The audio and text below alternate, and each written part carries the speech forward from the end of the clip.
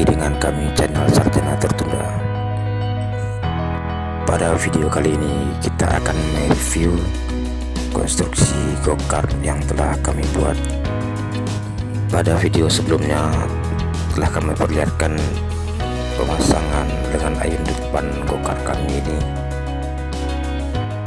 Sambil mencari-cari dan menunggu mesin yang cocok buat dipasangkan pada go-kart kami ini. Kami mohon saran dan masukannya. Semoga bermanfaat untuk kita semua para penggemar go-kart di mana pun kita berada. Selamat menyaksikan